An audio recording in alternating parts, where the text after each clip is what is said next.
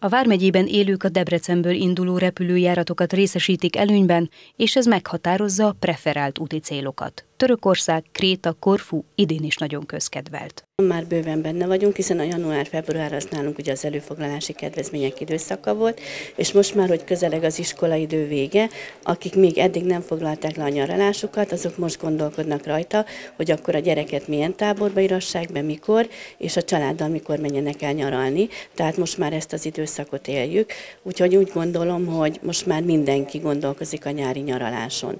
A trendekre vonatkozólag pedig el tudjuk mondani, hogy nagyon nem változtak a trendek. Hogyha a repülős utazásokat nézzük, akkor Törökország és Görögország még mindig a magyarok kedvence, illetve autóval Horvátország és Ausztria az, ahova szívesen kirándulnak a családok.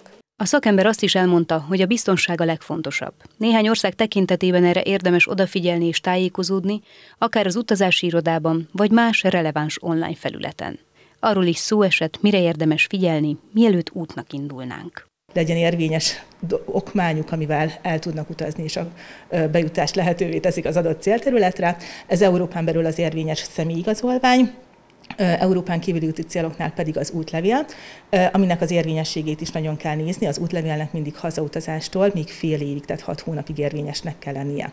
Kivételt képez ez alól Törökország, ahol most már nem csak útlevéle, hanem személyigazolványjal is tudunk utazni, de itt elvárt a személyigazolványnál az, hogy szintén hazautazástól hat hónapig érvényes legyen.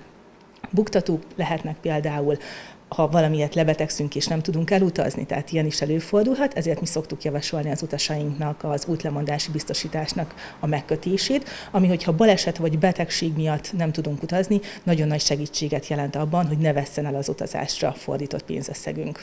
Az is kiderült, hogy ebben az évben nem biztos, hogy az a gazdaságosabb választás, ha magunk szervezzük a családi kirúccanást. Ez pláne az idei szezonban jellemző, hogy nagyon magasak a fapados légitársaságoknak a repülőjegyeknek az árai. Tavaly ez még azért jóval lentebb volt, olcsón tudtunk foglalni repülőjegyeket, ez idén nagyon magas. Úgyhogy általában az utasaink azt vették észre, hogy olcsóbb az, hogyha bejönnek egy utazás szervező vagy utazás közvetítő irodába, ahol komplet csomagtúrát tudnak foglalni, ugye ezek már előre lekötött repülőjegyekkel, előre lekötött szállásokkal dolgoznak, mindig kedvező árakat tudnak elérni, mint hogyha saját magunknak nézelődünk idén-nyáron az interneten. Ugye egy buktató lehet az is, hogyha mi magunknak foglalunk szállást, és hiába van visszaigazolás a kezünkben, akár utolsó pillanatban is kaphatunk egy olyan e-mailt, hogy bocsánat, de nincsen meg a szállás, szállás, mi visszautaljuk az összeget, nem kell utaznod, vagy nem tudunk téged fogadni.